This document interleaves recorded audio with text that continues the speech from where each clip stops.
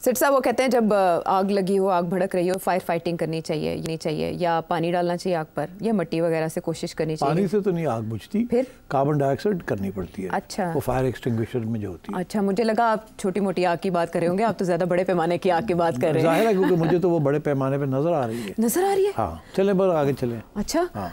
ये तो आपने बड़ी खतरे की बात कर दी। मैं तो अब इसमें खो गई हूँ लेकिन मैं आती हूँ वापस इस टॉपिक की तरफ़। डिस्कस करें हाँ नहीं आज ही करेंगे क्योंकि आप थोड़े बहुत इशारे दे चुके हैं। टाई बेशक आपने पिंक लगाई है लेकिन it's not all pink something is fishy fishy you know जो बात मैं करने जा रही थी वो ज़ाहिर है जलसा पाकिस्तान तहरीक इंसाफ का आठ सितंबर को हो गया। इससे पहले 22 अगस्त को जब मुलतवी हुआ तो जो बातें पाकिस्तान तहरीक इंसाफ वालों को सुननी पड़ी, जो कयास आराइयाँ हुई, हमने आपसे पूछा था कि मुलतवी कैसे हो गया ना तो ऐसे लगा जैसे अंडरस्टैंडिंग म्यूचुअल अंडरस्टैंडिंग फ़िरकैन के दरमियान हुई और उसमें आपने बताया कि किरदार किसने अदा किया था? अली अमीन गंडापुर साहब ने। और उनसे रबता किया गया था, फिर उन्होंने बताया कि ऐसे ऐसे कर लें तो हो जाएगा तो वो हो गया। अब जो आठ सितंबर को जलसा हुआ उससे पहले जो कुछ हुआ, अब तारीख का हिस्सा है। लेकिन अली अमीन गंडापुर साहब ही उसमें सबसे ज़्यादा गर्जे बरसे और उन्होंने ऐसे बयान दिए जिनकी तपिश आज तक बरकरार है। पार्लियामेंट इन सेशन है तो वहाँ उनके बयान के चर्चे हैं और इसे रियासत के खिलाफ बगावत से ताबीर किया जा रहा है। उन्होंने पंद्रह दिन का अल्टीमेटम दिया था बानी को रिहा कराने के लिए। ख्वाजा आसिफ उन्हें उससे ज़्यादा दिन दे रहे हैं। अजमा बुखारी साहिबा ने भी उससे ज़्यादा दिन दिए कि बीस दिन हम आपको देते हैं, आप रिहा करवा लें। और इसके अलावा भी बहुत सी ऐसी बातें। इन शॉर्ट जहाँ आया एक, क्या बोलना चाहिए उसको?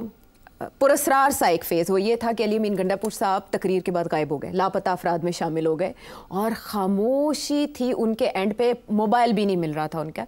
उसके बाद जब वो वापस आए तो खामोशी इख्तियार की रखी और दो दिन के बाद जब वो मंजर आम पर आए तो बाहर से उन्होंने खिताब करते हुए जो कहा बॉडी लैंग्वेज से ऐसे लग रहा कि सॉफ्टवेयर अपडेट नहीं हुआ, वो वहीं के वहीं खड़े उन्होंने क्या कहा, सुनवाए? देखें आप। जी। मुझे कहते हैं कि आपका लहजा बड़ा सख्त है। मैं लहजा नरम कर लेता हूँ। लेकिन मेरी सोच और मेरा नज़रिया कभी भी कोई नहीं बदल सकता। जो मेरा नज़रिया है, उसके ऊपर मैं बात धीमे करूँ या मैं बात सख्त करूँ, मैं वो बात करूँगा, क्योंकि मुझे आज़ादी चाहिए। मैं सर झुकाऊँगा नहीं, कटवाऊँगा ज़रूर। मैं अपनी आज़ादी के ऊपर कंप्रोमाइज़ नहीं करूँगा। मैं आज़ाद हूँ। और अगर मैं आज़ाद हूँ तो मेरी आज़ादी मुझसे कोई ना छीन सकता है, मेरी जबान ना कोई बंद कर सकता है। मैं ऐलान करता हूँ यहाँ पर। आपकी अपनी पॉलिसी है तो अपनी पॉलिसी अपने घर में रखो। जिस पॉलिसी की वजह से मेरे लोग मर रहे हैं, मैं बता रहा हूँ कि मैं बहसीत सुबह वफद भेज के मुलाकात करूँगा, उनके साथ बैठ के बात करूँगा। ये वो अली अमीन गंडापुर है जिनके बारे में तासर था कि इनके इस्टेब्लिशमेंट के साथ भी बड़े अच्छे ताल्लुक हैं और ख्वाजा आसिफ तो ये कहते हैं कि बानी पीटीआई समझते थे गंडापुर के इस्टेब्लिशमेंट से रबते उनके काम आएँगे। और फिर अली अमीन गंडापुर साहब वो हैं जो एपेक्स कमेटी का अजलास या दीगर अजलास में अगर होते हैं तो किसी और तरह से पेश आते हैं, शबाज शरीफ साहब से भी मिलते हैं तो और तरह पेश आते हैं। अब कुछ लोग ये समझ रहे हैं कि इन्होंने ये बातें करके पीटीआई बानी पीटीआई की मुश्किलात बढ़ा दी हैं, लेकिन बानी पीटीआई तो अलीमीन गंडापुर के साथ ही खड़े हैं। मुझे अब आपसे वे फॉरवर्ड जानना है कि इमरान खान साहब ने उसके बाद इस्टेब्लिशमेंट से बातचीत बंद कर दी, उन्होंने कहा पाँच छः लोग थे, हमारे साथ धोखा हुआ है। मुझे आप बताएँ कि कब, क्या हुआ, पाकिस्तान तहरीक इंसाफ का मुस्तबिल क्या है खसूस अली अमीन गंडापुर साहब? क्या अपने अहदे पर बरकरार रहेंगे इस तरह के दावों के बाद? आपने बहुत सारे सवाल पूछ लिए एक एक हम्म। करके जवाब देते हैं। जी। देखिए पहले तो ये तबसरे बड़े चले हैं दो तीन दिन से कि जी ये कहाँ गायब हो गए? हम्म। उसमें एक साहब हैं उन्होंने कहा जी कि इनके साथ ठीक ठाक हुआ है हाथ। हाँ जी। बिल्कुल यहाँ तक बात की उन्होंने। हम्म। दूसरे साहब हैं वो कहते हैं इन्हें कॉन्स्टिट्यूशन एवेन्यू पे कहीं कहीं कोई सेफ़ हाउस में ले गए या वहाँ बुला लिया गया।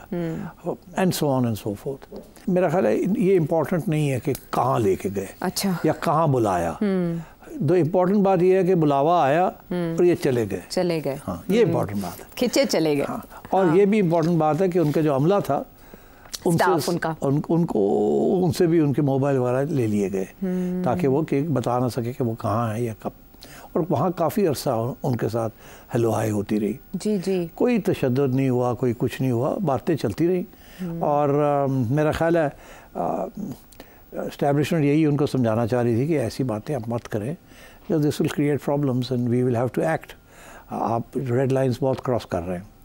इन्होंने जो आगे से जवाब दिया कि मेरी मजबूरी है आ, अगर मैं ये नहीं कहूँ करूँगा ये रेड लाइंस क्रॉस तो फिर ऑलरेडी पार्टी के अंदर लोग कहते हैं कि मैं आपका आदमी हूँ। हम्म। तो फिर तो वो बात खात फारग हो जाएगी। फिर जो मेरी आपके लिए जो यूटिलिटी है जो मेरी करेंसी है आपके साथ वो यही है ना कि खान के साथ मेरा रबता है और वो मेरी बात सुनता भी है और मैं इन्फ्लुएंस करता हूँ उसको। जिसकी वजह से मैं चीफ मिनिस्टर बना हुआ हूँ। आप सोचिए अगर मैं ना चीफ मिनिस्टर हूँ तो कोई और आ जाए जो कि हार्ड लाइनर हो आपका बंदा ना हो तो फिर क्या होगा? और जिस किस्म के हालात हैं तो इट इज़ बेस्ट कि मुझे थोड़ी सी तो गुंजाइश मिले ताकि मैं गरज सकूँ। अलबत् मैं ये काम करूँगा नहीं मगर मुझे गरजने की तो इजाज़त होनी चाहिए। उसी के साथ मेरे क्रेडेंशल्स बनते हैं। है। अगर आप मुझे इस, इससे भी रोक देंगे तो फिर मैं फ़ारग हो गया। मेरी यूटिलिटी ना आपके लिए है ना खान के लिए ना किसी के लिए। तो मेरी तो यूटिलिटी यही है कि I am close to Khan. I am the face of Khan mouthpiece of Khan और can be the mouthpiece also ठीक? तो उसके साथ ये है कि मेरी भी क्लाउड है और इन्फ्लुएंस है। ताकि जब वक्त आए तो मैं मॉडरेट भी कर सकता हूँ। इसीलिए जब मैं आप लोगों के साथ बैठता हूँ या गवर्नमेंट के साथ बैठता हूँ एज चीफ मिनिस्टर तो मैं बड़ा मुनासिब बातें करता हूँ। बिकॉज़ वहाँ मुनासिब बात ही करनी है ना वहाँ तो आगे बात चलानी है। ये तो नहीं कि सारा कुछ डिरेल कर देना। मगर अगर आप मुझे चीफ मिनिस्ट्री से हटा देंगे या मुझे पकड़ के धगड़ धगड़ पकड़ धगड़ करेंगे तो ठीक है वो आप कर सकते हैं। But then you then then you lose somebody who has access to him Khan and has access to you तो I am an important go between और क्योंकि मेरे पे ये इल्ज़ाम है जैसे मरवत पे था कि आप तो इस्टेब्लिशमेंट आधी पीटीआई भी यकीन करती है कि ये इस्टेब्लिशमेंट का आदमी है। तो इसलिए मेरा ख्याल है इन्होंने इस किस्म की वहाँ डिबेट हुई। उन्होंने आगे से कहा होगा हाँ वो सारी गल ठीक है मगर तू तो बहुत आगे निकल गया. और मतलब है तू पीछे हटेगा तो किस तरह हटेगा? तो उन्होंने कहा तो छोड़ दो ना मेरे पे मैं कर लूँगा मुझे पता है कैसे करना है। तो ये धमकियाँ मैं जो देता हूँ ये मुझे अपना सपोर्ट बेस रखने के लिए क्योंकि वहाँ का मूड यही है।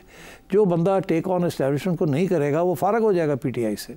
और मेरा जो पोजीशन है दैट्स वेरी ट्रिकी पोजीशन अब आप देखें ना you wanted to convey a message to Imran आपको कोई नहीं मिला जिसकी बात जिसकी बात इमरान मानता। आपको मुझे मुझे ही कॉन्टैक्ट करना पड़ा था और मैंने आपको ये कहा कि देखिए अच्छी बात नहीं है कि मैं खान के पास जाऊँ कैरिंग योर मैसेज जी। अलबत्ता मैं किसी को नॉमिनेट कर देता हूँ और वो चला जाएगा खान के पास आपकी मैसेज लेके। और वो स्वाति को नॉमिनेट कर दिया। आपको याद होगा मैंने प्रोग्राम में कहा था कि रबता गड्डापुर के साथ हुआ। जी। और गंडापुर ने आगे स्वाति को नॉमिनेट किया। और Swati out of the woods वो तो किसी खाते में नहीं था मगर वो जब गया खान के पास तो उसने जाके कहा कि ये पैगाम मैं लेके आया हूँ आपके लिए। And Khan believed him and then Khan की नेगोशिएशन जो हुई वो थ्री वे नेगोशिएशन थी Swati was just a messenger then उसके बाद गंडापुर ने सारी नेगोशिएशन की ये जो डील हुई फाइनली कि आप ऐसे नहीं करेंगे ये नहीं करेंगे वो वो सारी बातें पहले हो चुकी थी ऐसे ही होता है अब सिचुएशन ये है कि गंडापुर साहब फिर वापस वापसी पे उन्होंने फिर वही बात की कि मेरा अप, अपने सॉफ्टवेयर की अपडेट की बात जी, कर रहे हैं। जी, जी। वो कह रहे हैं कि मैंने जो मेरे दिल में है वो तो मैं दिल में रहेगा आप जो मर्ज़ी कर लें। हाँ, हाँ, तो ये देखें ना this is for the public this is for the PTI. He has to establish his credentials वो ये पोजीशन नहीं छोड़ना चाहता। और मैं ये भी आपको बता दूँ ये गलत फहमी है। कुछ लोग कह रहे हैं कि इसको इसके खिलाफ वोट ऑफ़ नो कॉन्फिडेंस होगा ये होगा नहीं गवर्नर राज नहीं होगा। उसकी वजह यह है कि he is a very useful asset to Khan sahab and to the establishment इसलिए he is a very important player वो खान साहब के लोगों को खान साहब के साथ रखता है। और उधर जब वक्त आता है तो इस किस्म भी डील करवा देता है। जैसे डील हुई कि जी आठ को नहीं होगा चौदह को होगा या जो भी वो डील 22 को नहीं होगा, आठ को होगा। हम्म। ऐसे। तो ये, ये इसकी ये कार, कारस्तानी है।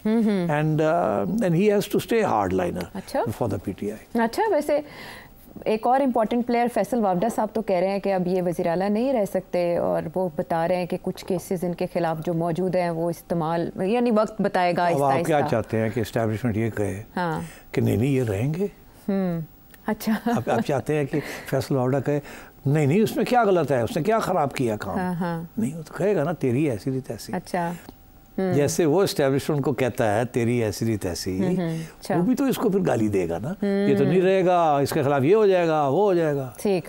ये गेम होती है सियासत के अंदर। Okay both sides play the game. Okay. Khan is playing the game, Gandapur is playing the game, and Warda on behalf of the establishment is playing the game. अच्छा मेरी assessment है कि Gandapur is not going anywhere. वाह अच्छा ये prediction आपने कर दी सभी यही पूछ रहे हैं कि इनका मुस्तकबिल क्या होगा हमने तो वो थोड़ा बहुत मूड और लहजे से भी जान लिया कि थोड़े से डाउन है जरा नरम नरम बोल रहे हैं वो वाली घन गरज चार पाँच घंटे वहाँ बैठ के आए ना और देखिए उससे भी एक मैसेज किया उधर मैं आपको बताऊँ एक बंदे ने नहीं बात की पहले एक ने की होगी फिर एक और ज्वाइन कर लिया होगा फिर पहले वाला चला गया होगा दो और आगे होंगे। और फिर वो आया होगा फाइनल ठीक है। जिसने इनको समझाना था। तो गंडापुर साहब ने दोनों को खुश कर दिया है नवे ये कहा जा सकता Gandapur sahab is playing a good game good game अच्छा शाबाश उनकी बनती है लेकिन तो उसकी वजह ये है कि बड़ी मुश्किल गेम है ये। खान को भी खुश रखना एस्टैब्लिशमेंट को भी खुश रखना और एस्टैब्लिशमेंट से भी गाली खिलवानी अपने आप को। और खान को भी मुतमिन रखना कि देख गाली कर दे पहले मैंने। हम्म, हम्म, तनी हुई रस्सी पे चल रहे हैं इस वक्त वज़ीर अला के पी।